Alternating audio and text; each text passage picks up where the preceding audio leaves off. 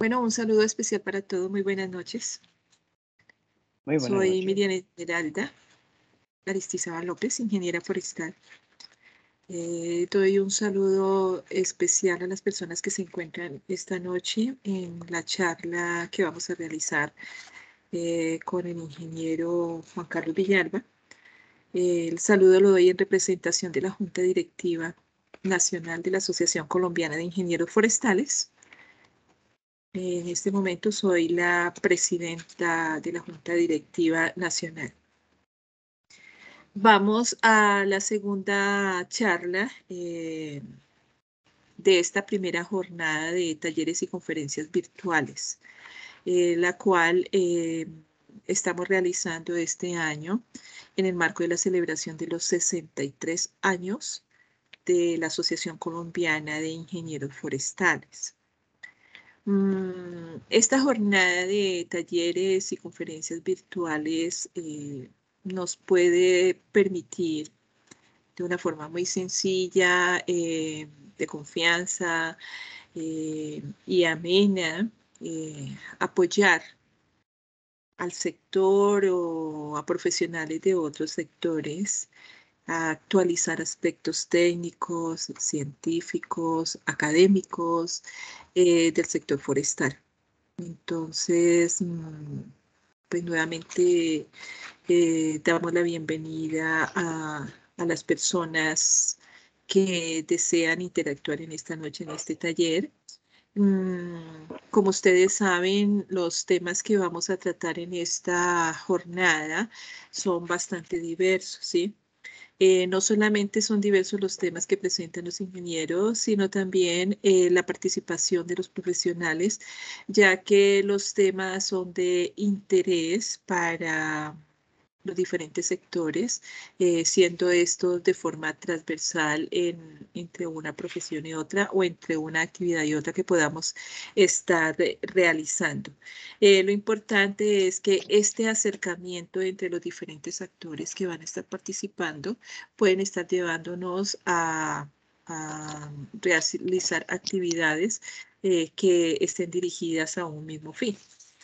Recordemos que mmm, tenemos cerca de 12, 12 charlas o 12 talleres que se van a estar trabajando. Esos 12 talleres ya iniciamos el primero el 16 de agosto con el, el, ingeniero Francisco Torres y que tenía que ver con las oportunidades para la ingeniería forestal en la década de restauración de ecosistemas. Les recuerdo que los talleres y las reuniones se están grabando y aquellas personas que están asistiendo a las reuniones se les envía una copia del taller y todo lo que eh, se presenta en él, las conversaciones, la forma como vamos a interactuar en las mismas, para que eh, cada vez que deseen escucharlo puedan hacerlo. Además, el, el, el hecho de de poder estar grabando eh, estos talleres nos va a permitir que aquellas personas que se inscribieron y que por algún motivo no pudieron acceder, eh, ya sea porque se dificultó técnicamente o porque alguna actividad les impidió llegar a la hora que estaba proyectado el taller, eh, se les envía a sus correos directamente la copia de la grabación y un resumen que se hará también para, para que lo tengan y puedan eh,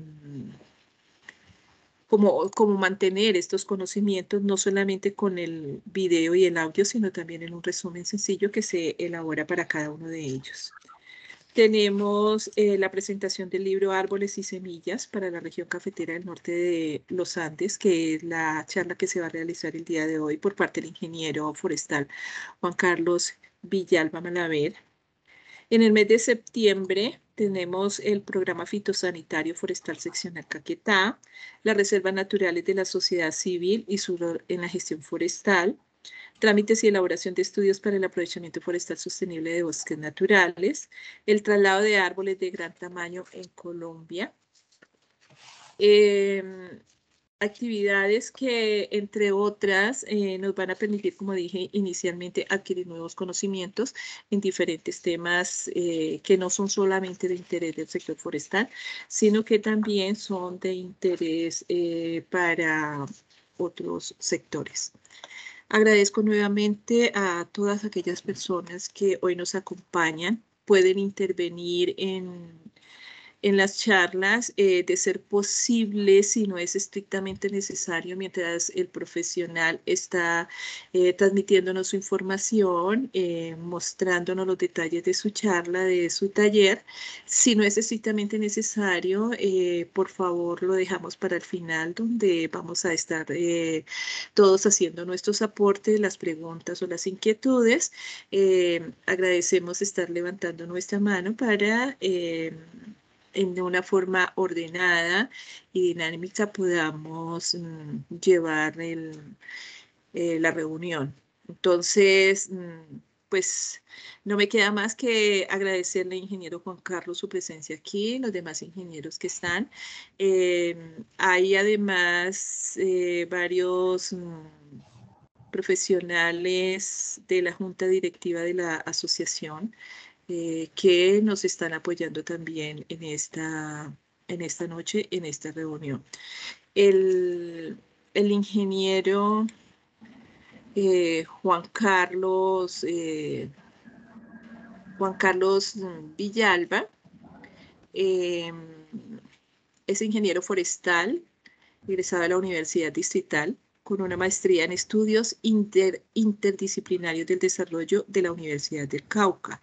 Es profesor titular de la Universidad del Cauca con dedicación al programa de Ingeniería Forestal en el área de silvicultura. Es mentor del semillero de investigación Bosques y Silvicultura e integrante de los grupos de investigación para el desarrollo rural, TUL y Bosques y Comunidades. Miembro fundador con el grupo TUL del Centro de Innovación y Apropiación Social de la Caficultura adscrito a la Vicerrectoría de la Universidad del Cauca y en asocio con el Comité de Cafeteros del Cauca. Integrante de la Asociación de Mangleros Independientes de San Antero en el departamento de Córdoba y de la Red de Guardianes de Semillas de Vida, con la cual se realiza en este momento el fortalecimiento de la Escuela Semillas de Identidad. Eh, agradecemos, ingeniero Juan Carlos, el apoyarnos con la charla que nos va a dictar.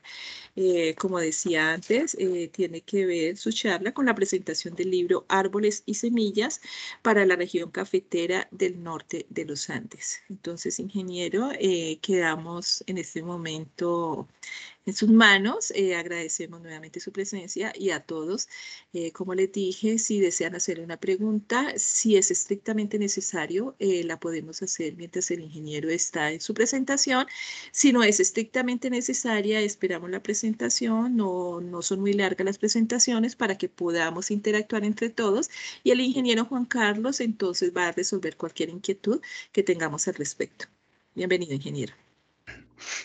Eh, buenas noches, Miriam. Buenas noches para los y las asistentes que están en este momento. Bueno, de entrada agradecer la invitación que me hizo Liliana y bueno, Asif. Eh, gracias por la oportunidad, por compartir este, la información de este libro. Eh, quiero, pues, antes de iniciar formalmente, reconocer a la nueva junta directiva de ASIF, todo este proceso que están llevando es muy interesante, se ve más dinámico, hay más interacción, por lo menos para los que estamos en las regiones, como que ya se ve una cara nueva, se ven procesos nuevos y bueno, me, los felicito y agradezco pues, digamos, eh, tomar la bandera del gremio y, y poner a rodar todo este proceso y bueno, estoy acá con mucho gusto poniendo un granito de arena para todo este proceso que, que se adelanta. Entonces voy a compartir pantalla. Ingeniero, un momentico. Eh, Francisco, ingeniero Francisco, eh, Carlos ya nos está tratando de conectar y no ha recibido la autorización para unirse. Por favor, gracias. Ya, ya se unió, gracias. Bueno, está bien.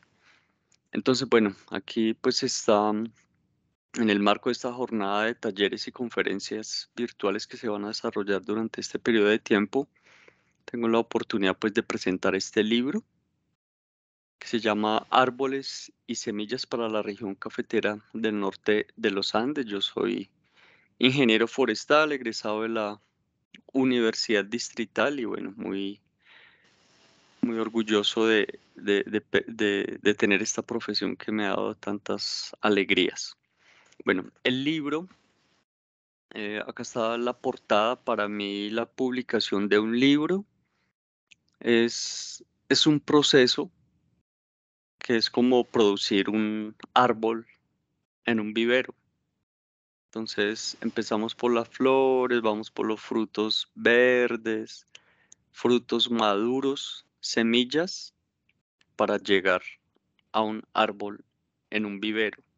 Es todo un proceso, digamos que ya que he tenido la oportunidad de hacer este ejercicio, eh, es muy enriquecedor, es em, de dedicación, de disciplina, pero al final pues se ven los resultados y básicamente lo que yo quiero poner a disposición o la idea eh, eh, fue invitar a algunas de las personas con las que hemos trabajado algunos temas y compartir información de, un proceso que llevamos aquí en el, eh, en el Cauca y en la universidad en asocio con el Comité de Cafeteros. Y también compartiendo experiencias de mi eh, trabajo como profesor, investigador eh, en la Universidad del Cauca, aquí en la ciudad de Popayán. Aquí pues está el equipo que hizo parte de todo el proceso, entonces aquí como autores Además de quien les habla, está Romano Spina, profesor, Diana Carolina, una profesora en este momento, está haciendo su doctorado en Brasil, en el área de genética. Ángel Patricio Gutiérrez, ya les voy a hablar de él, es un señor muy interesante, un silvicultor empírico. Y aquí colegas como Tatiana Rodríguez, quien hizo su trabajo de grado como ingeniera forestal, sistematizando todo el conocimiento de don, Patricio. Ya les voy a contar más adelante de qué se trata. Luis Armando Villota, colega que tal vez ustedes conocen, una persona muy valiosa, un sabedor muy importante del quien hemos aprendido mucho. Y aquí, colegas egresados, ya ingenieros forestales de la Universidad del Cauca, que han hecho su trabajo de grado como ingenieros forestales en varias de las temáticas que se tocan dentro del libro y quienes fueron invitados a sistematizar lo que fueron los resultados de su trabajo para este libro. El prólogo lo hace Gerardo Montenegro Paz, que es el gerente del Comité de Cafeteros del Departamento del Cauca, con quien institución con la que pues tenemos un trabajo muy fuerte. Y ya desde la Universidad del Cauca tenemos una editorial y acá está pues todo el equipo que hizo parte desde eh, el diseño editorial, entonces desde la corrección de estilo, la diagramación, el diseño de la carátula, las fotografías. Las fotografías para este libro fueron tomadas, o sea, digamos, de manera profesional, con dedicación, con tiempo, con asesoría especializada, se tomaron varias de las fotografías que ustedes van a ver y que son, que, que hacen parte del libro. Bueno, ¿cómo se financia este libro? Eh, resulta que la Universidad del Cauca hace unas convocatorias internas para publicación de resultados, de trabajo, de investigación. Bueno, se hacen convocatorias internas a través de la editorial de la Universidad del Cauca. La editorial de la Universidad del Cauca está reconocida por el Ministerio de Ciencias, es decir, está indexada y estas publicaciones surten todo un proceso editorial que exige MinCiencias para que tengan eh, la categoría para ser reconocidas como un producto eh, dentro del proceso de investigación que, y de innovación que lleva el Ministerio de Ciencias. La editorial está adscrita a la Vicerrectoría de Investigaciones precisamente por eso. Hace ya varios años se organizó y se indexó para cumplir todos los requerimientos y que las publicaciones resultantes de la universidad a través del sello editorial tengan esa calidad técnica que, se requiere. Como lo mencionó Miriam, mm, yo hago parte de SIC Caficultura, que es el Centro de Innovación y Apropiación Social de la Caficultura, un centro de la universidad.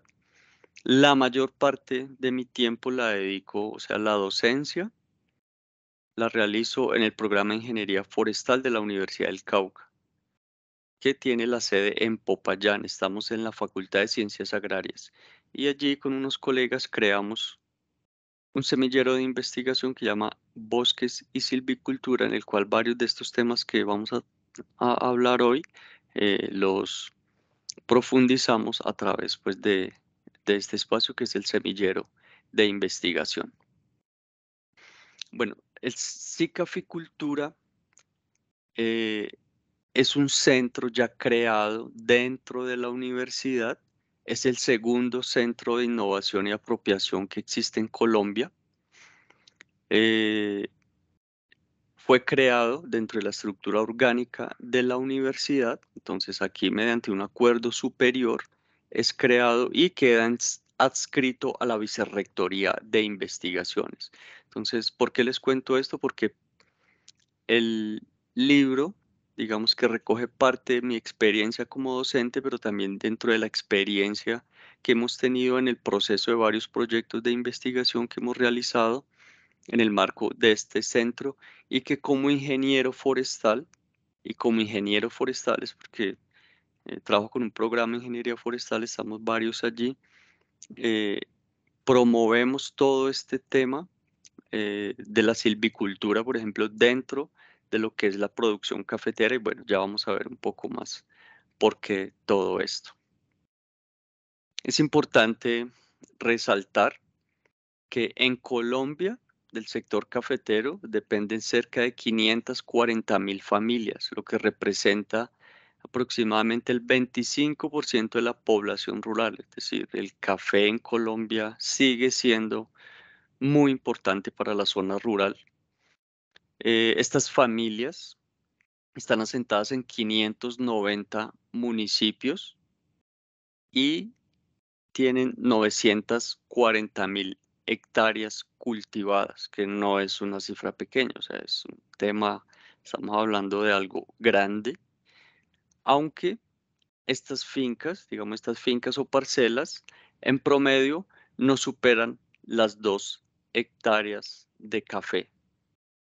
Entonces estamos hablando de un gran volumen de familias, de un área considerable, eh, pero en promedio en fincas pequeñas, sobre todo en un departamento como el Cauca. Aquí estamos hablando del promedio de, de café de una familia caficultura es 1.2 hectáreas. Ya vamos a ver aquí unas cifras. Aquí hablamos de temas nacionales y aquí vamos a hablar del departamento del Cauca. Es el cuarto productor de café a nivel nacional. En el mismo gremio de los caficultores se habla de que el nuevo eje de calidad de producción de café está en el sur. Huila en el primer lugar, Cauca está cuarto y está Nariño. No recuerdo Nariño en qué número está. Y ahí lo que se mide es por eh, peso, cantidad de café producido.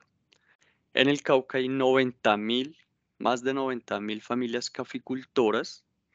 Y hay algo interesante y, que por eso pongo todo este contexto de dónde viene todo este tema de esta publicación, es que a nivel del departamento del Cauca, el Comité de Cafeteros tiene un programa, entre otros, que se denomina Ni una hectárea de café más sin sombra. Es decir, se está plantando pero todo bajo el esquema de sistemas agroforestales, es decir, plantar con árboles, porque ya se sabe y está demostrado técnicamente que los árboles prestan servicios ecosistémicos y que fue un error cortar todos los árboles que se asociaban al cultivo de café.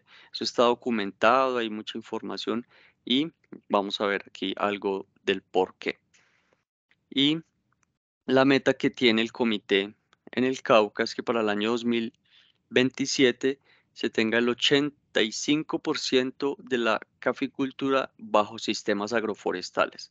Aquí tenemos eh, en el oriente, lo que es el municipio de Insá, eh, al sur del Cauca también hay unas regiones en las cuales se produce todavía café de manera tradicional, es decir, con el sombrío tradicional, con, con variedades de café tradicionales, las antiguas. En la Sierra Nevada de Santa Marta también, en Colombia, se produce de esa manera, pero pues también ya hay eh, sombrío tecnificado, pero bueno, lo que se busca es volver a incluir este tema del sombrío en el café porque ya se sabe que tiene muchos beneficios. Cuando se empieza a trabajar todo este tema del café, entonces uno como ingeniero forestal realmente nosotros no manejamos ese tema, es de agrónomo la producción de café, pero cuando ya hablamos de sistemas agroforestales, hablamos de fincas cafeteras, el panorama es diferente. O sea, si hablamos de monocultivo es pura agronomía, pero cuando ya hablamos de un sistema cafetero y pensamos la finca como un sistema, nosotros encontramos varias formas en las que está presente el componente forestal. Fue un trabajo, parte del trabajo que hemos hecho. Bueno, llegamos a una finca y cómo encontramos esto. ¿Qué encontramos del tema forestal? Entonces, lo más común y de lo que más se habla son los sistemas agroforestales, es decir, el café asociado a árboles o que cerca haya árboles en cercas vivas, por ejemplo, con especies maderables, sistemas agroforestales. Aquí al sur del país, como sucede en gran parte de las fincas cafeteras y en todo tipo de finca que hay en Colombia, casi siempre, no siempre, pero casi siempre hay guadua. Y la guadua tiene una importancia eh, económica, una importancia cultural, una importancia ecosistémica que es importante y que está allí presente. Entonces aquí al sur eso se está desarrollando ya sabemos que en el eje cafetero es donde más se ha avanzado. Ya hay publicaciones. Alemania financió a la Universidad Tecnológica eh, de Pereira en investigaciones sobre silvicultura, inventarios, y ya hay suficiente información. Y aquí en, en el Cauca, en la universidad, estamos impulsando el desarrollo de del manejo silvicultural de los guaduales. Eso lo estamos trabajando incluso eh, en los cursos que desarrollamos en silvicultura, en manejo. En las fincas y en la región cafetera también encontramos bosques. A veces son bosques pequeños. En una finca de dos hectáreas, de una hectárea, uno dice mil metros cuadrados de bosque.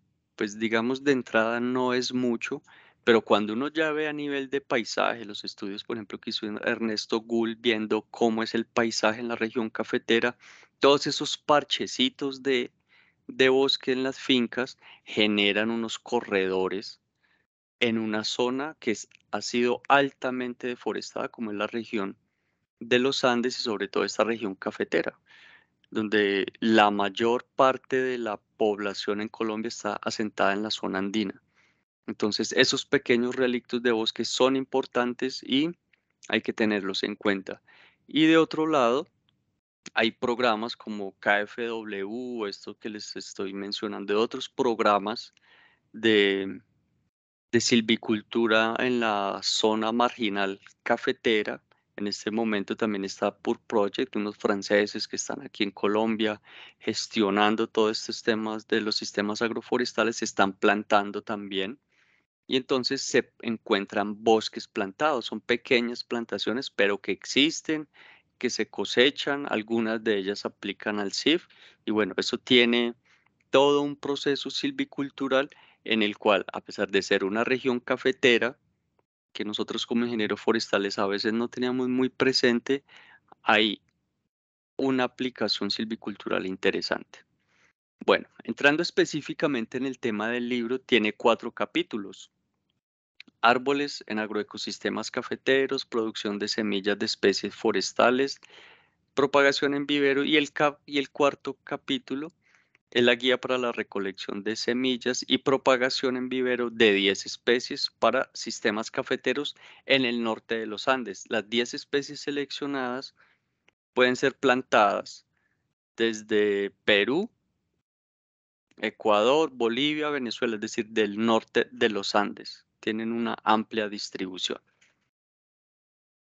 Bueno, el primer capítulo los árboles en agroecosistemas cafeteros, eh, se va a hacer una revisión de varios documentos para resaltar y ver qué tan importantes son los árboles en estos sistemas cafeteros. Y mire que uno encuentra cosas muy interesantes. Por ejemplo, dicen estos autores, la intensificación agrícola reduce la resiliencia ecológica de los sistemas de uso de la tierra, mientras que paradójicamente el cambio ambiental y los extremos climáticos requieren una capacidad de respuesta más alta que nunca.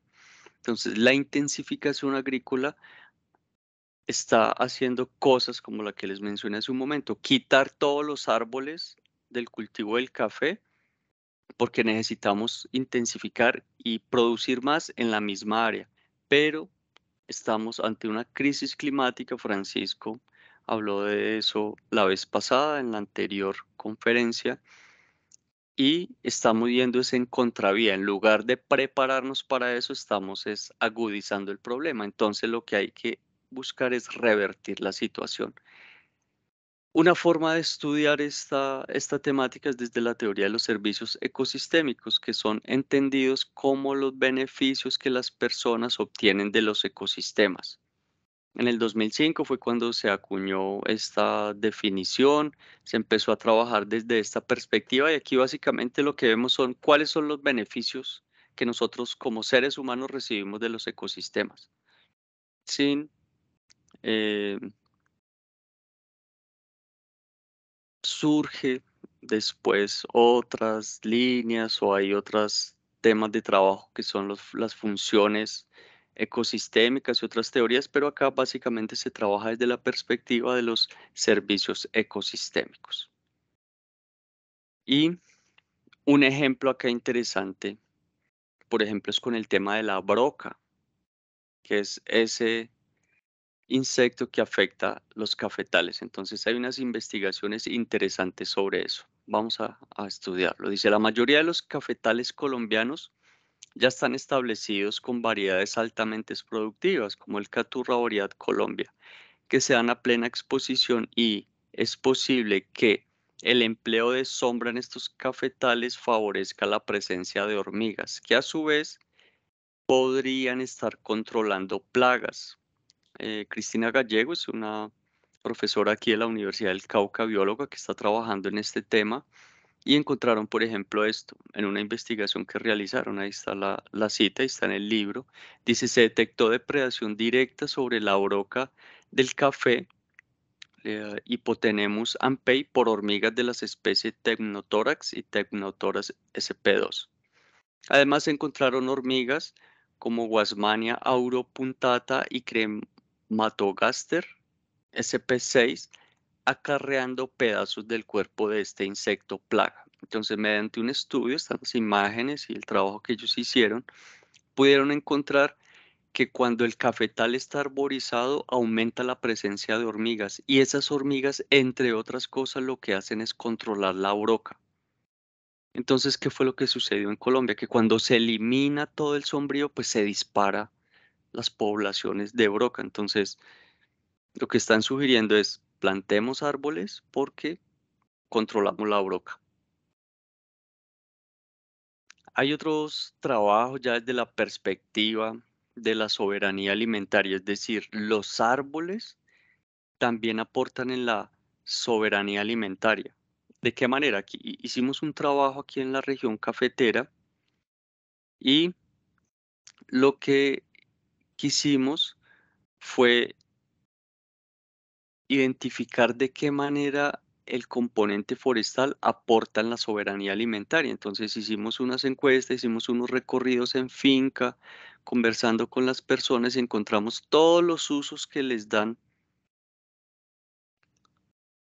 las familias a las especies forestales. Entonces miren todos los usos que hay. O sea, es muy amplio el uso que se le da a las especies forestales en la región cafetera.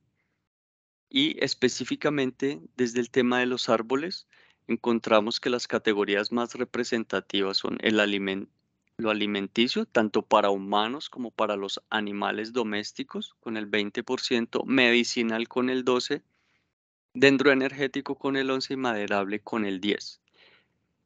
Y encontramos un documento muy interesante, dice, las personas del medio rural dependen en gran parte de la biomasa, especialmente madera, para cocinar y para conservar los alimentos, por ejemplo, el ahumado y el secado. La leña y el carbón vegetal permiten la cocción de alimentos variados y de alta riqueza nutricional. Entonces, básicamente, en este estudio y lo que nosotros estamos encontrando acá es que la leña es muy importante. Y aquí, en esta foto, ahí en Cicaficultura trabajamos con diseñadores gráficos, logramos pues captar eso. Entonces está la leña para cocinar alimentos, entonces acá nos dicen, mire, si hay leña, podemos acceder a alimentos más variados y de una riqueza nutricional más alta, pero también se utiliza, por ejemplo, para ahumar. Entonces aquí está colgado el maíz, que es la semilla. Entonces se ahuma para que no le calgue el insecto, para secarle y para conservarlo para las próximas cosechas. Entonces al principio la verdad no veíamos eso. Pero cuando entramos a hacer todo este análisis nos encontramos con cosas tan interesantes como esa. Entonces, cómo los árboles y los bosques aportan a la soberanía alimentaria, en este caso de las familias caficultoras. Bueno, el segundo capítulo hablamos de producción de semillas de especies forestales. Entonces, desde varias perspectivas, varios autores, varias instituciones están haciendo un llamado de que hay que mantener la diversidad genética de las especies arbóreas. Se está perdiendo. Eso ya se sabe, está documentado y entonces tenemos que buscar estrategias para conservarla. Una de ellas es mediante el uso, por ejemplo, en sistemas agroforestales. O sea, si utilizamos las especies, tenemos la oportunidad de conservarlas. Y aquí es importante destacar que la silvicultura es un eje en la formación de los ingenieros forestales o en las ciencias forestales. Yo insisto mucho con los estudiantes, les digo, mire, los únicos profesionales que estudiamos la silvicultura y la ejercemos somos los ingenieros forestales, por eso hay que estudiar y hay que hacernos fuertes en este tema y la, y la aplicación es muy amplia. Y en el libro recojo varias de los, varios de los trabajos que se hizo en este programa INCEFOR, que yo creo que varios de ustedes conocen y que se estancó. O sea, CONIF hizo un esfuerzo grande hasta 1999, 2002.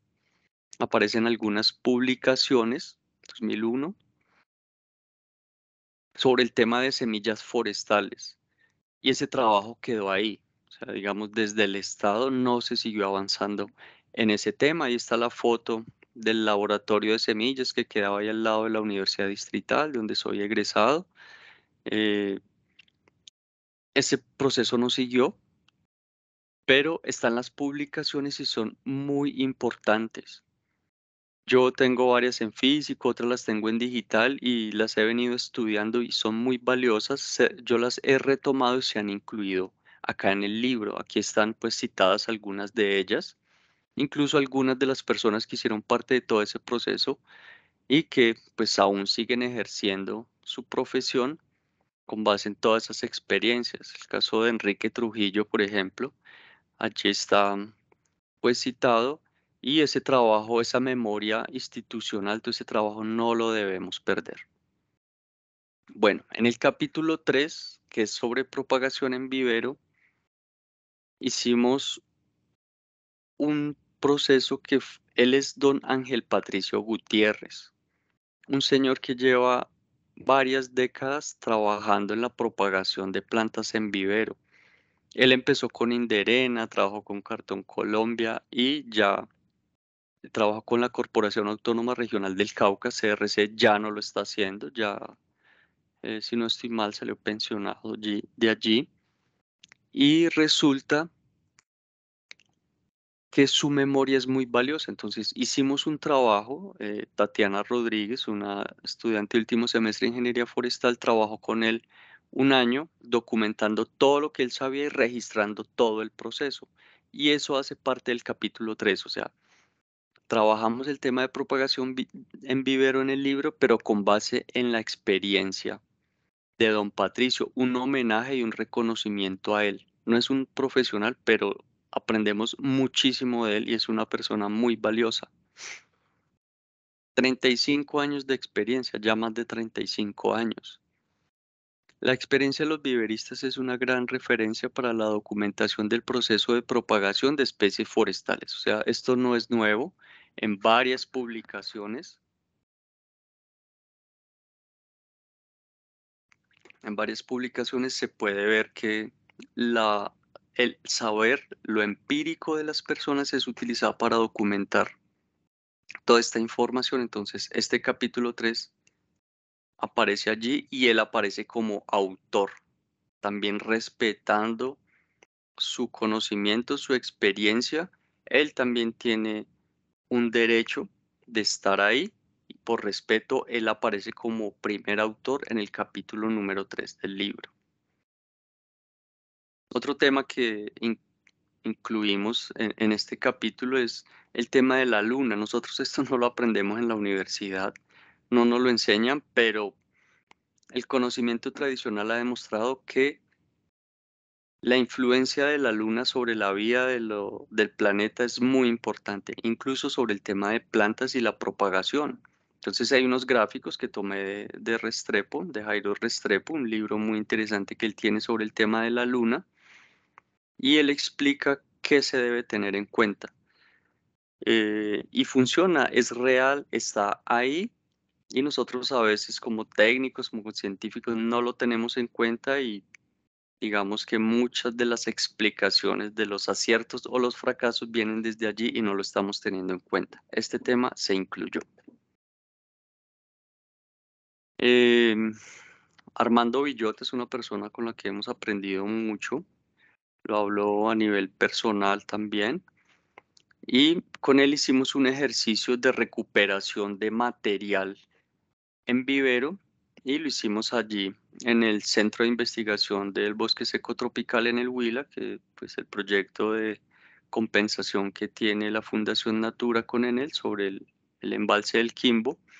Hemos hecho también trabajos allí y uno de lo que hicimos fue la recuperación de material, entonces la propagación por estacas y pseudoestacas. Esto también aparece aquí en el libro, documentamos el proceso y quedó allí disponible porque es una buena manera para recuperar material y no eh, generar tantas pérdidas en vivero cuando los tiempos institucionales o, los tiempos eh, atmosféricos no coinciden precisamente con las producciones y bueno, todas estas situaciones que se enfrenta uno como silvicultor, como ingeniero forestal en estos procesos de siembra.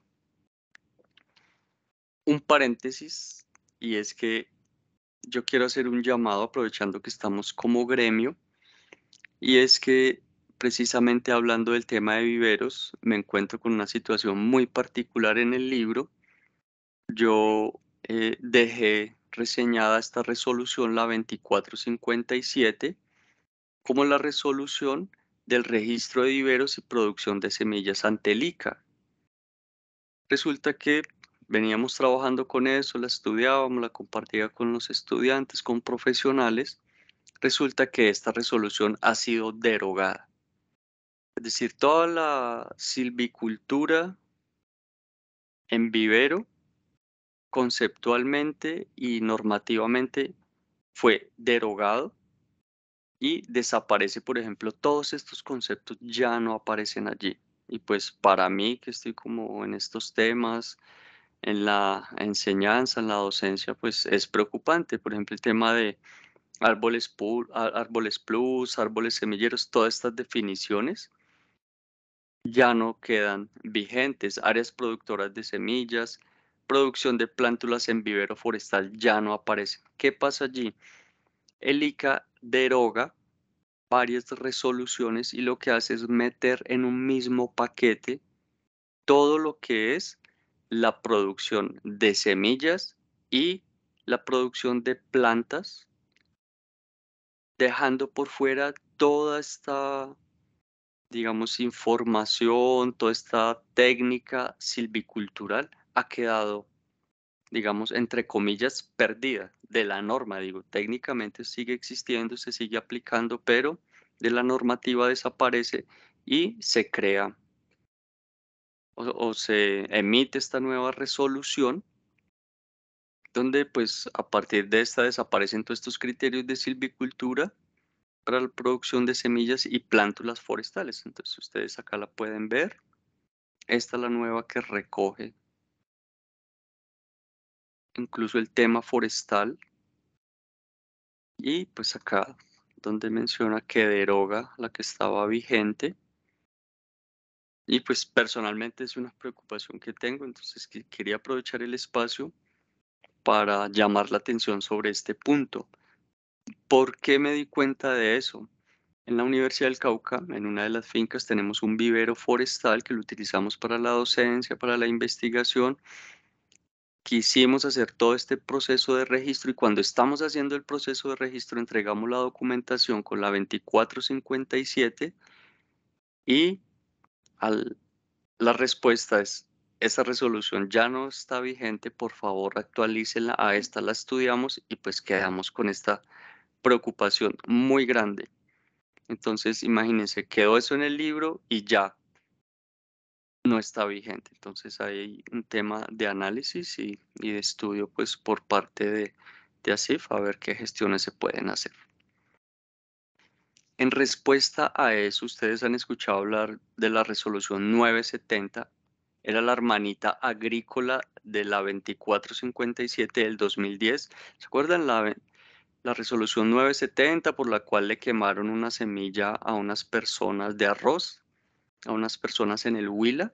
Eso generó una polémica grandísima y los campesinos, personas con las que yo trabajo, no se ven representados en el ICA y se sienten atacados.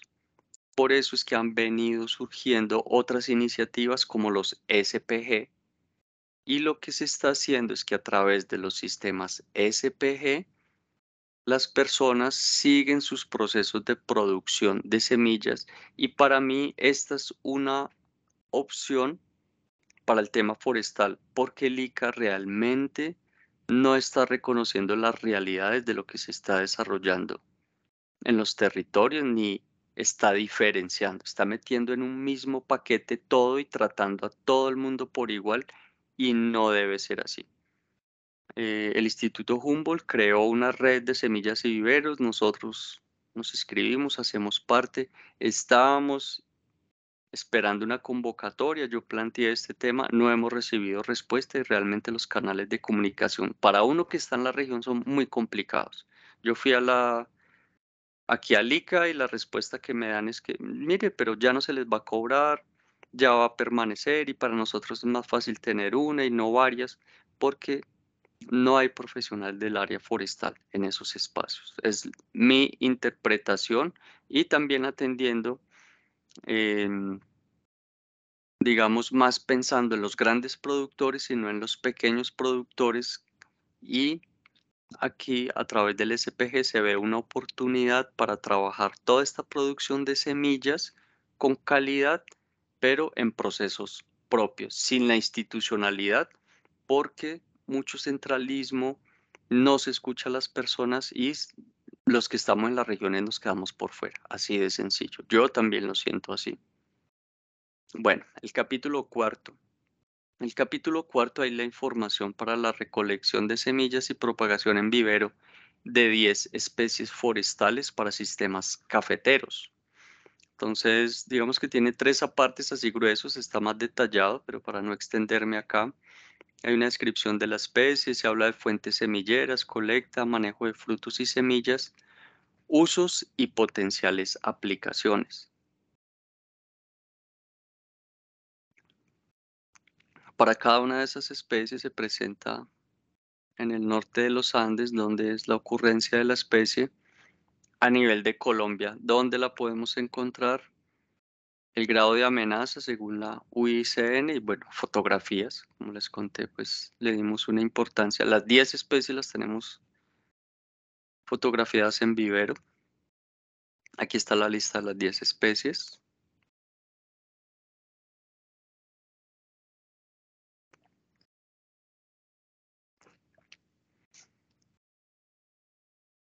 Entonces, hablamos para sistemas cafeteros. No quiere decir que necesariamente las especies, o sea, estos árboles, tengan que ser plantados dentro del cafetal. Pueden ser cercas vivas o pueden ser rodales cerca al cafetal, o sea, no necesariamente tienen que estar dentro del cafetal porque ese es el concepto, o sea, no se trata de, que solo sea un sistema agroforestal, sino que como sistema no necesariamente tiene que estar dentro del cafetal.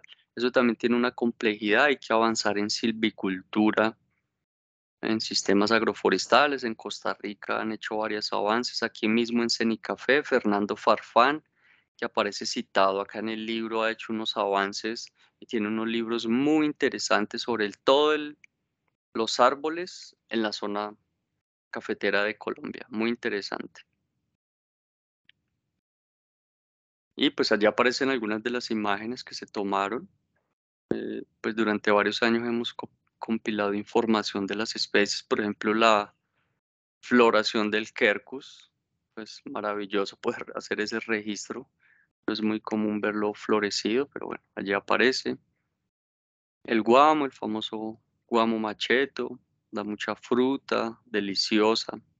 Incluso lo que entiendo es que la venden como, la pulpa la venden como guanábana o rinden la guanábana como con guama y se vende como fruta para jugos, para sorbetes. Pero pues si le dicen que es guama, no la pagan bien, entonces la gente la vende como como guanábana y se vende mejor, o la rinden. Eh, cosas que he escuchado y que, sé que, que se hacen. El aguado, como les decía, estamos trabajando con el tema del aguado. Estas fotos son unos guaduales que tenemos en la universidad. Ya aprendimos a hacer inventarios, son diferentes los inventarios, eh, hacer planes de manejo de guaduales. Eh, al certificado de incentivo forestal se puede aplicar como graduales. Estamos haciendo ejercicios en eso, aprendiendo, inculcando en nuestros profesionales de la Universidad del Cauca estos temas que son muy importantes, que tienen unos campos de acción muy, muy interesantes y que creo que están subestimados en, en la formación forestal. Por eso los estamos impulsando desde la Universidad del Cauca. El guayacán de Manizales es una especie rústica muy interesante. En el censo de árboles que hicimos ya en la Universidad del Cauca, es decir, en, el campus universitario en la ciudad de Popayán hicimos el inventario, tenemos 1.886 árboles. Guayacán de Manizales es la especie más abundante, estamos haciendo unos trabajos de investigación con el semillero de investigación y bueno, impulsando la investigación eh, también en nuestro campus universitario.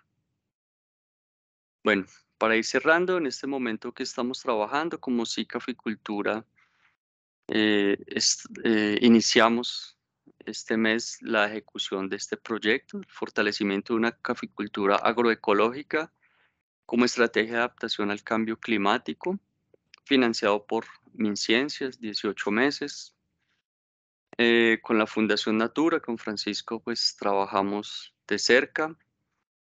Mm, estamos trabajando allí todo el tema de fuentes semilleras para abastecer el proyecto de restauración ecológica que él viene liderando ya hace varios años. Estamos allí desde el inicio. El primer trabajo de grado que se hizo allí, el proceso de restauración ecológica fue en este tema y bueno, estamos avanzando. En tema de adaptación al cambio climático, estamos trabajando con la Universidad de Bordeaux y el INRAE de Francia, con la Universidad del Cauca. En este momento estamos haciendo un trabajo interesante como universidad que tiene que ver con homologar y reconocer la formación técnica y tecnológica de los egresados del SENA. Por ejemplo, en operaciones forestales saben trabajar el aprovechamiento y las plantaciones, plantaciones y aprovechamiento lo saben hacer muy bien. Entonces, en este momento ya tenemos la aprobación para desde el próximo año los egresados del SENA que vengan con esa formación, homologar en la universidad y que se profesionalicen en la Universidad del Cauca. El SENA es vecino de nosotros, estamos trabajando con ellos y vemos eso como, como una oportunidad porque varios de nuestros egresados son ya profesionales nombrados allí en el SENA y estamos articulando este tipo de iniciativas y también eh, gestionando proyectos de investigación que precisamente están en proceso de, de gestión con recursos SENA en SENNOVA. Bueno, un resumen así rápido de, lo que se trata el libro. Aquí está mi contacto, aquí está mi correo, bueno, en Twitter, allí he estado siguiendo así, he estado allí interactuando a través de ese medio y bueno, agradecerles la, oportunidad y, y atento a escuchar preguntas, comentarios y bueno, establecer un diálogo que creo que es también uno de los objetivos de, esta presentación. Muchas gracias.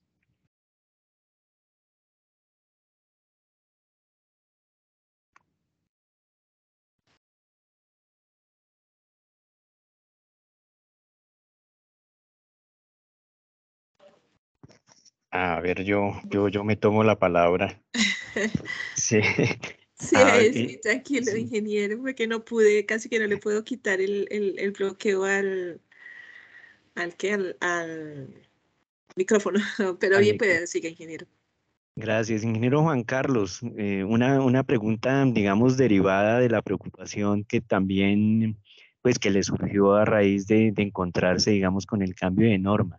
La pregunta es, ¿qué otras, eh, al estudiar el, cambio de norma, qué otras situaciones adversas, preocupantes o perjudiciales aparte pues de la descontextualización de, del tema semillero, eh, encontró en la nueva norma para, para, para, el tema de viveros? Bueno, yo, yo, lo que, yo lo que identifico allí es que están, están mezclando, como, como nos enseñaban en álgebra en el colegio, papas con marranos, no revuelva papas con marranos. Es que imagínense, allí en la resolución dice, se pone al mismo nivel, por ejemplo, las plantas ornamentales, o sea, un vivero que produce plántulas ornamentales para jardín, tiene que hacer el mismo trámite que estamos haciendo nosotros. Todos estos conceptos no se están teniendo en cuenta y es preocupante porque no reconocen, digamos, toda esa técnica y el avance. Para mí esa resolución 2457 es importante porque pues se recogen varios de esos conceptos, de las técnicas, de planes de manejo silvicultural de las fuentes semilleras, todo eso desaparece. Y lo que yo le decía que, que me preocupa es que veo que no hay profesionales del área forestal en el ICA o los desconozco o están en áreas que no son, no sé, es la sensación que me queda y lo digo desde mi experiencia, de pronto en otra regional sea diferente, pero varios temas de los que interactuábamos cuando se hicieron las visitas porque nosotros recibimos ya el registro como vivero, eh, no se manejaban muy bien las temáticas, es decir, eh, agrónomos manejando el tema. Es decir, yo me imagino que si a mí como ingeniero forestal me envían a hacer la evaluación, no sé, de un vivero de cítricos, pues yo por lo menos no me siento en la capacidad para eso. Yo siento que pasa lo mismo de allá para acá. Un agrónomo podrá manejar los cítricos, pero en el tema forestal se maneja diferente. Entonces, técnicamente también hay unas cosas allí que no encuentro digamos, como la formación en los profesionales encargados del área. Eso, esa es otra, digamos, como dos de las cosas que pues habría que revisar la norma otra vez en detalle, pero son como dos cosas que, que me dejan preocupado en ese, en ese sentido. Bueno, em, basado en lo que acaba de preguntar el ingeniero Germán y la respuesta del ingeniero Juan Carlos, precisamente la charla que viene el 6 de septiembre eh, la va a, a, estar liderando un profesional del ICA y va a hablar acerca de ese tema, ¿sí? Va a hablar acerca del registro de plantaciones eh, ante el ICA, eh, la forma como se puede hacer los registros y el tema que están hablando ahorita. Entonces, eh, sería bueno si de pronto pudiésemos estar en esa charla y ver si podemos despejar algunas dudas con él eh, para ver cómo podemos acceder a cierta información que de pronto no tenemos, pero que al, al, al ingeniero darnos la información, entonces podamos eh, como, como salir adelante con, con algunas preguntas e inquietudes que, que posiblemente buscando en la literatura no encontremos. Entonces, pues yo los invito de verdad a, la charla de la semana entrante, que es como un complemento de lo que acaban de decir ustedes y que es una inquietud bastante grande y muy importante para los trabajos que se vienen realizando. Eh, ingeniero, yo quiero hacerle dos preguntitas. Tenemos una especie, una especie, llamémoslo agrícola, ¿sí? Que es el café pero que es considerado como una leñosa eh, que hemos visto nosotros dentro del sector forestal y que se utiliza mucho en, en ebanistería o algo, em, digamos, como los tallos o, la madera del café. Mm, esta especie de café, eh, usted hablaba acerca de, aquellas especies forestales que se pueden estar utilizando dentro de un área de un cafetal, posiblemente dentro del cafetal o a los alrededores del cafetal. Eh, estas especies forestales eh, le aportan muchos beneficios al cafetal. La pregunta mía es, esas especies forestales con el cafetal pueden ser especies análogas que en un momento dado ayudan a, crear eh, corredores biológicos. En un momento dado se podría pensar en eso, tener esos corredores biológicos, donde eh, podríamos tener algo así como parecido a la forestería análoga, donde el cafetal sería como un espacio X que juntado con las especies forestales que hay a sus alrededores o dentro de ella, permite que eh, la fauna silvestre también se desplace por estas áreas entre las especies forestales sembradas, los cafetales, las especies que hay entre los cafetales y de pronto a otro lado especies forestales. Podríamos tener eh, esas especies análogas que permitan crear corredores biológicos. Sí, sí, claro. Eh, mire que incluso en, en Brasil encontré, me compartieron una publicación de allí. Allí utilizan los sistemas agroforestales como una estrategia de restauración eh, ecológica, porque se recuperan las coberturas, se mejoran, se implementan corredores biológicos, o sea, biológicos. Hay varias formas de hacerlo, pero sí se pueden utilizar y incluso en, este momento con una colega estamos tratando de, hacer una revisión en ese sentido porque, digamos, cuando se tiene solo la perspectiva de la finca, se ve solo un pequeño espacio. Hablemos de dos hectáreas, que es una cifra que se utiliza ahí comúnmente. Y en esa hectárea, esos mil metros de bosque que le decía. Pero si uno ve desde la teoría del paisaje, con todo el tema de,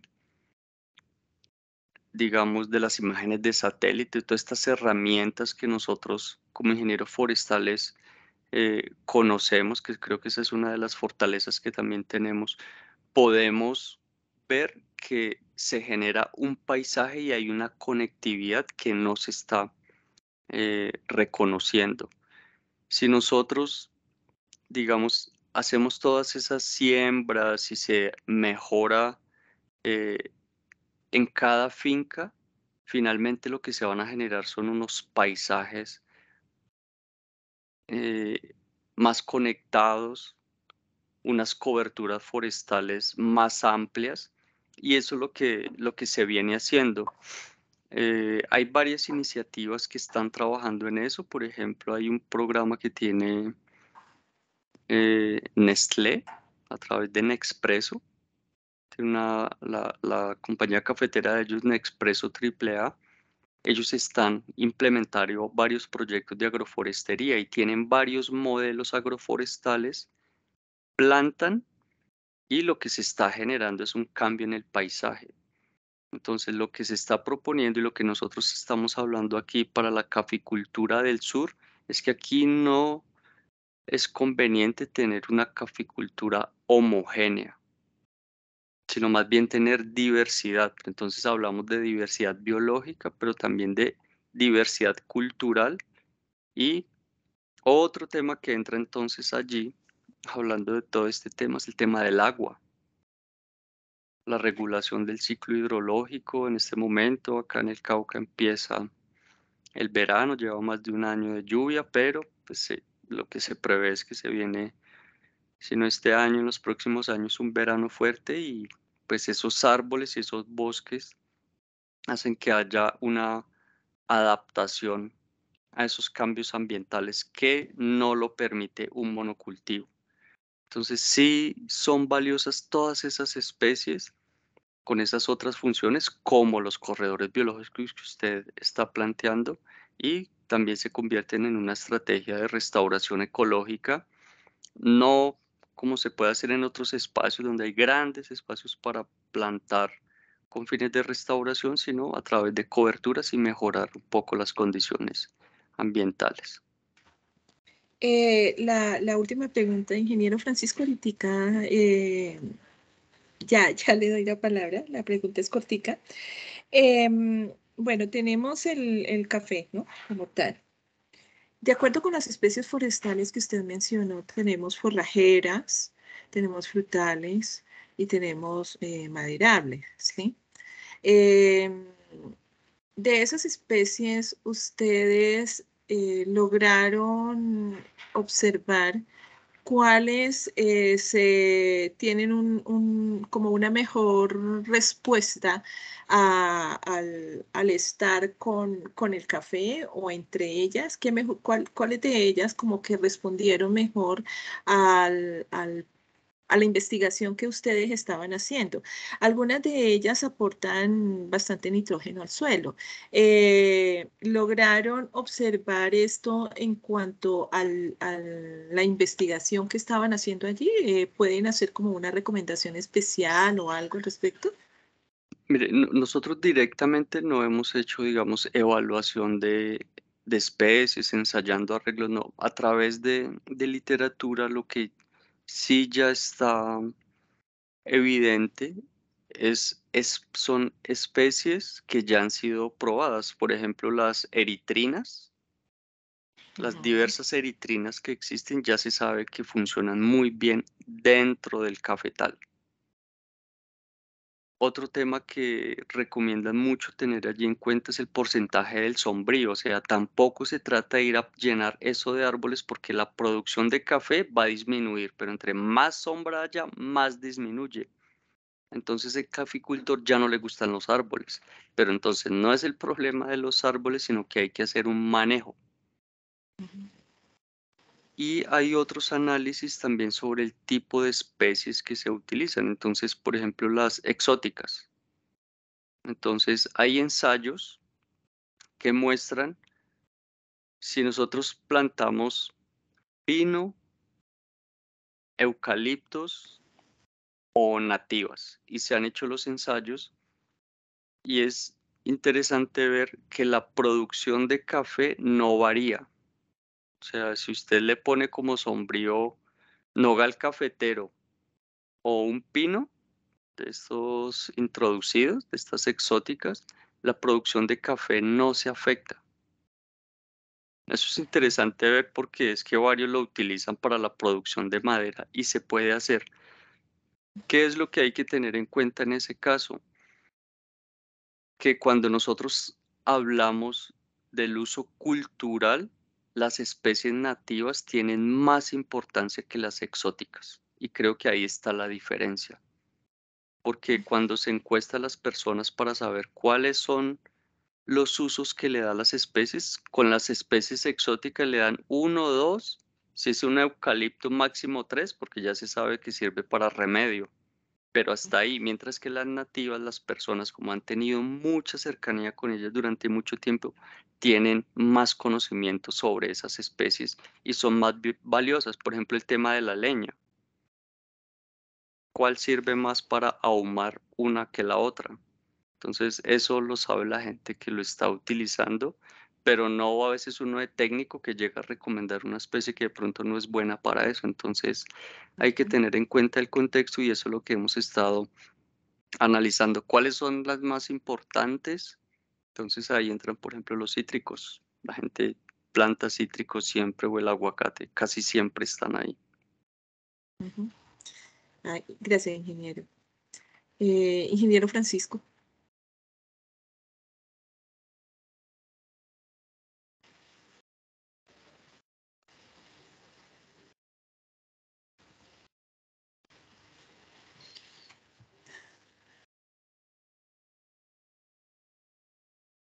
Eh, bueno, mientras el ingeniero Francisco recupera su, micrófono, ingeniera Liliana, bien pueda siga.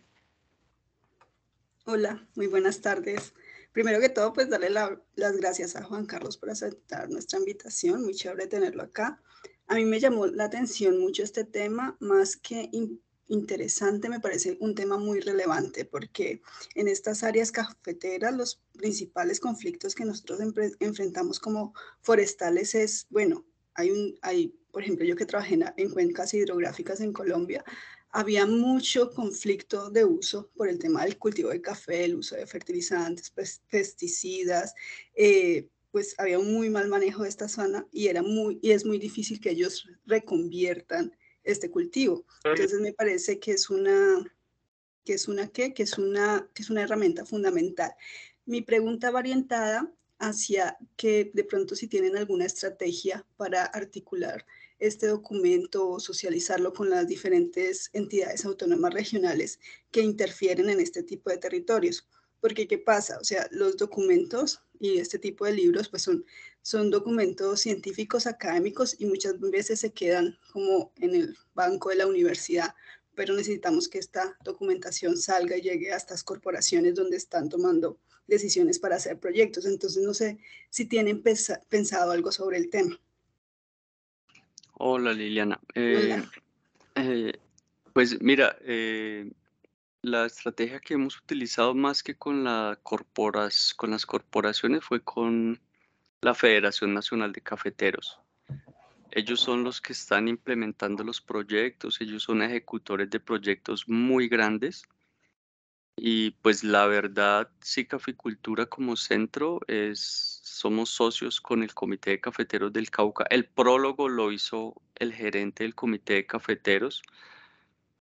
El lanzamiento, digamos así, grande del libro presencial que hicimos fue en la feria de calidad del café aquí en el Cauca donde pues vienen todas las instituciones que tienen que ver con el café y incluso viene la gobernación, viene eh, la corporación, o sea, todos están invitados y allí interactuamos todos los que estamos trabajando con el tema del café.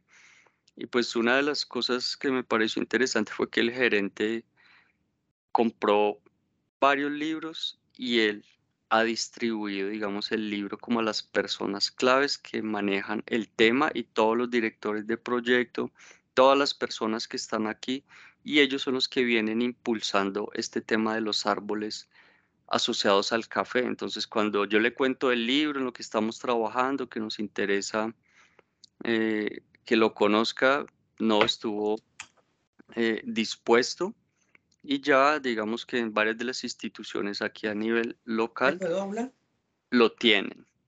Y por otro lado te cuento pues que como es parte de un proceso editorial de la universidad, eh, hay un convenio entre universidades, entre bibliotecas y hay una distribución nacional incluso en algunos países de Latinoamérica. Entonces ya las editoriales, digamos que tienen los procesos de distribución y eh, lo comparten.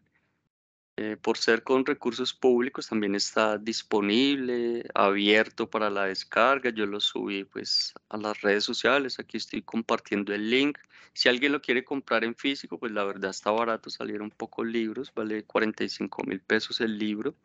O si quieren lo descargan en, en PDF. La idea es que pues, se distribuya, se conozca y, bueno, que este tema forestal para la región cafetera eh, se conozca. Súper bien. Gracias, ingeniero. Gracias. Eh, el ingeniero Francisco volvió a tener inconvenientes ahorita, entonces estamos pendientes del ingeniero Francisco. ¿Alguien más desea preguntar algo al ingeniero Juan Carlos? ¿Aportar algo? Si no es una pregunta, es un aporte.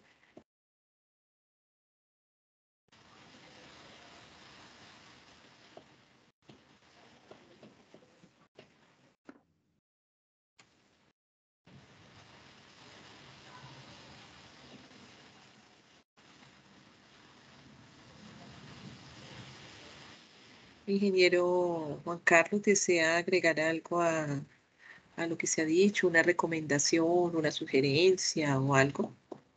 Eh, precisamente sobre lo que usted dijo, miren, hace un momento, sobre la presentación de la próxima semana, eh, pues creo que ahí habrá un espacio para poder hacer las preguntas y bueno, poner el tema sobre la mesa y creo que lo valioso de estos espacios es eso, ¿no?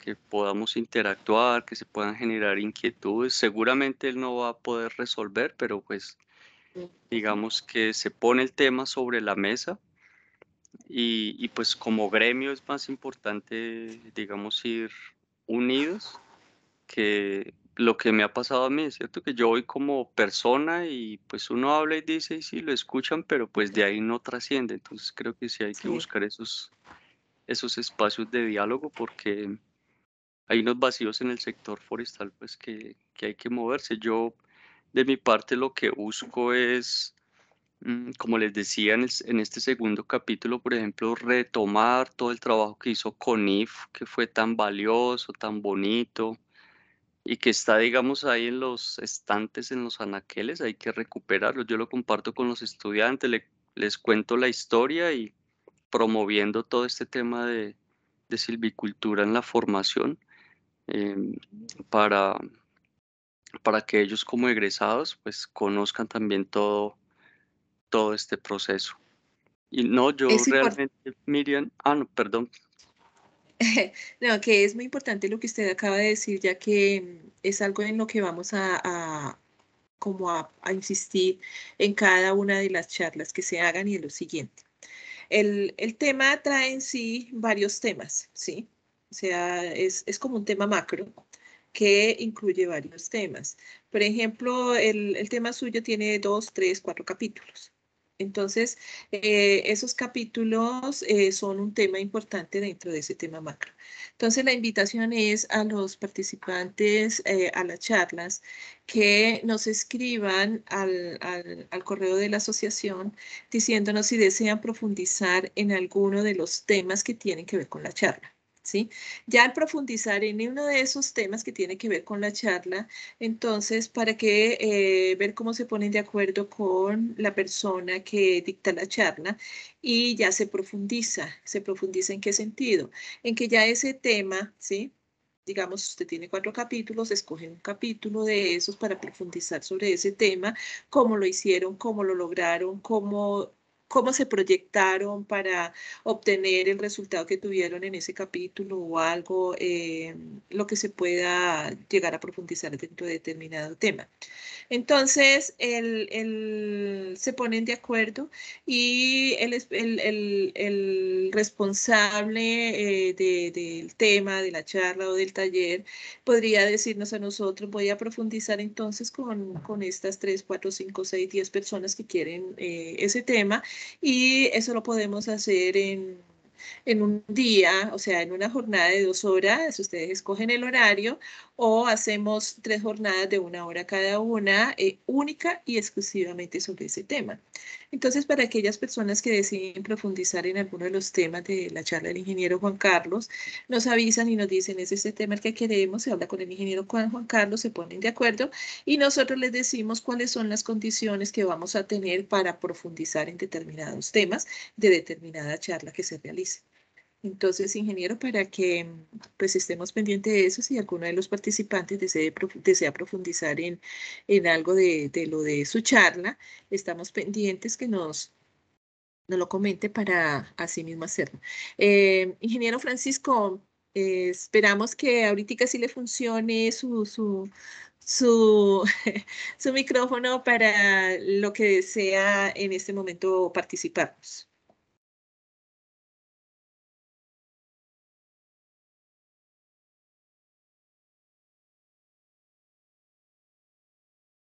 Creo que no. No le sirve. Me parece que. Ingeniero Francisco. No, Ingeniero Francisco nos escribe si es que el micrófono no le sirve. Por el chat, nos escribe algo. ah, no, si va manejando menos. Ya después le hará las preguntas a Juan Carlos con un café.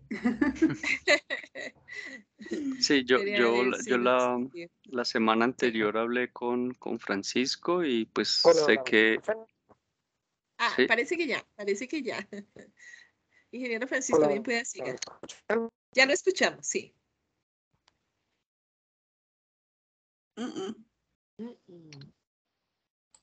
No, no está como mal el audio. Su micrófono está abierto, pero no le escuchamos, ingeniero. Ahí, ahí, ahí puede hablar.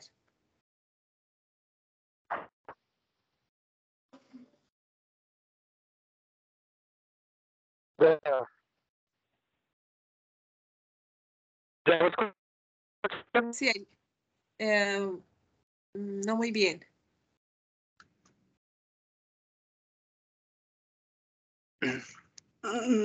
Eh, les decía que la semana pasada me vi con Francisco en Popayán y le compartí uno de los libros en, físico, impreso para, para el centro de documentación de, de ASIF para que pues esté allá también disponible pues como parte de la memoria de todo el proceso.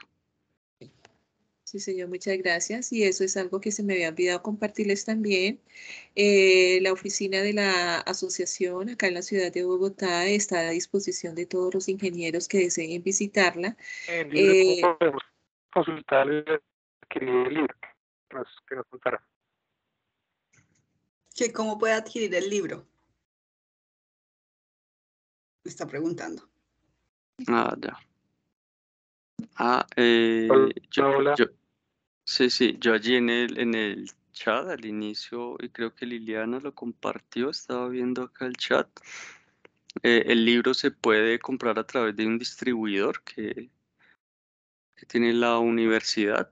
Allí puse el link, ahí aparece en el chat y se puede comprar en línea y lo envían pues donde uno se encuentra, cualquier parte del país, lo envían a la casa. Ok, gracias. O está disponible también para descargarlo en PDF de manera gratuita y también puse el link. Sí, con todo gusto los pueden compartir si quieren en la página o bueno, no sé dónde lo consideren pertinente ustedes. Lo podemos subir al centro de documentación de la CIF, la biblioteca digital. Lo compartimos. Buena idea. Okay. Em, bueno, les decía que son bienvenidos a la oficina de la asociación. Allí hay mucha literatura impresa. Eh, si desean o necesitan consultar algo, con muchísimo gusto, em, nos avisan con tiempo para eh, poder apoyarles en, en la visita que deseen hacerlo, sea para investigar algo, sea para alguna reunión, eh, vienen a la ciudad de Bogotá, quieren reunirse en la oficina, con muchísimo gusto la, la oficina está a disposición de los ingenieros de, de nuestro país, independientes si están dentro de, de la asociación o si todavía no sean asociados. Y igualmente pues les invitamos a aquellos que no estén asociados eh, para que hagan parte de, de la asociación. Y mm, ya que la ingeniera Liliana habló acerca de la biblioteca digital que tiene la asociación, eh, ¿nos podría compartir unos dos minuticos sobre la misma, por favor? No, es un, es un centro de documentación que hemos ido armando en la página web de la asociación donde tratamos de colocar los documentos que ya están abiertos al público. Entonces, cada vez que nos envían nueva documentación, lo que hacemos es actualizarla. Realmente la empezamos a construir desde el año pasado. Ya tenemos una buena documentación ahí. Si ustedes tienen documentos que quieran compartir, que quieran referenciar, que ya estén como disponibles vía web, nos pueden mandar el enlace y nosotros los compartimos. Eh, nosotros tenemos esa oficina física, pero también siento que la CIF se ha abierto más al tema online, como para llegar más a diferentes regiones del país y fuera del país. Entonces también si en algún momento surge alguna digamos, alguna propuesta, alguna conferencia, algún taller y la persona no se encuentra en la ciudad de Bogotá, pues podemos generar este tipo de espacios. Estamos como más abiertos al tema digital, entonces todas las propuestas son bienvenidas. Gracias, ingeniera Liliana. Ingeniero Francisco, ¿ya tiene mejor eh, señal?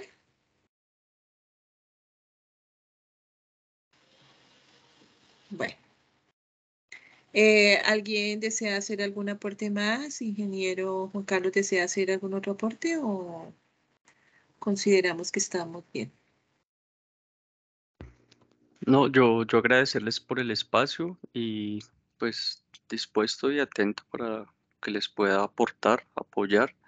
Con mucho gusto aquí pues desde la región. Y acá cuando vengan por estas tierras, acá en Popayán, en la Universidad del Cauca, bienvenidos y bienvenidas. Muchas gracias a todos y a todas. Bueno, muchísimas gracias, ingeniero. Yo también les doy las gracias a todas las personas que estuvieron eh, y a aquellas personas que intentaron de pronto ingresar y por algún motivo no pudieron hacerlos. Todos son muy bienvenidos a todos ustedes que están aquí. Eh, si de alguno de ustedes no tenemos de pronto su correo electrónico, electrónico, agradecemos que por favor nos lo hagan llegar para enviarles eh, la grabación de, de la charla Em, y el resumen que se haga de ella. Esta no se va a enviar el día de mañana porque nosotros eh, la organizamos, se escucha nuevamente y se hace el resumen para poder eh, hacer la entrega a través de los correos electrónicos. Muchísimas gracias eh, por haber estado aquí, por haber participado dentro de, de esta charla taller que como dijimos hace parte de de la conmemoración de los 63 años que tenemos de la Asociación Colombiana de Ingenieros Forestales, eh, que vamos a tratar de mantener. Ah, por ahora las estamos haciendo los martes, eh, de todos los martes en el mes, vamos a estar eh, enviando el listado de las charlas para que no las olviden y si desean ingresar para aquellos que no son socios de la asociación, eh, los, las charlas están eh, en una donación de 50 mil pesos para aquellos que lo deseen. para los que son socios, todas las charlas son gratuitas y los que no socios nuevamente les invitamos a asociarse. los valores de, de las inscripciones ante la CIF eh, para ser socios eh, están en la página de la asociación, van de acuerdo a los tiempos que tenemos como profesionales forestales, eh, ya sea estudiantes que están por mm, graduarse en ingeniería forestal, eh, profesionales entre 0 y 5 años de egresados, de 5 a 10 años y mayores de 10 años. Allí se encuentra la resolución que estableció estas, mm, estos tiempos de, de haber sido graduados o por estar por graduarse y los precios em, de cada uno de, estos tiempos. Además, hay una plataforma que es Payu que les permite em, ingresar a la asociación. Para quienes deseen ingresar a la asociación como persona natural, digámoslo así, o eh, está la otra posibilidad de mm, asociarse a la asociación a través de las asociaciones que se están creando en los diferentes departamentos del país. Entonces, mm, pues muchísimas gracias por su participación, muchísimas gracias por estar aquí. Quedan invitados para las próximas eh, reuniones o talleres. Eh, para que nos envíen sus, sus apreciaciones en caso de que quieran acceder a alguna información ya más detallada con respecto a algunos de los temas de estas reuniones y talleres.